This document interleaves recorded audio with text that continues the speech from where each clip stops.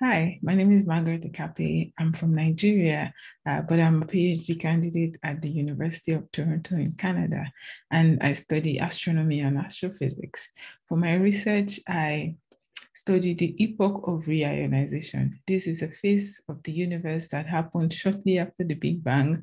Uh, the universe used to be a lot hotter and denser than it is today, but as the universe continued to expand and cool, uh, the very first atoms could form. And with time, as more and more of these atoms were forming, they were able to clump together. And when these clumps became very dense inside of them, they started to fuse hydrogen into helium. And we say that the first stars were formed.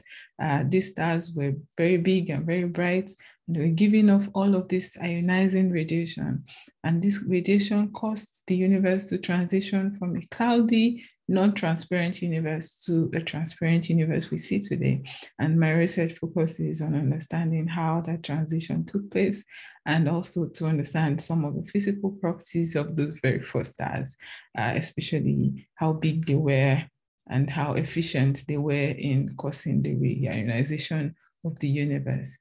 Um, I'm very grateful to be awarded and recognized for this award for the DKG uh, award and to know that my research and my contributions to science education is, is being acknowledged. And this further reinforces my desire to pave the path for young Africans in STEM disciplines. I've I enjoyed the community of the DKG and I am empowered to know that there's so many uh, women like me that uh, are causing a change in their environment.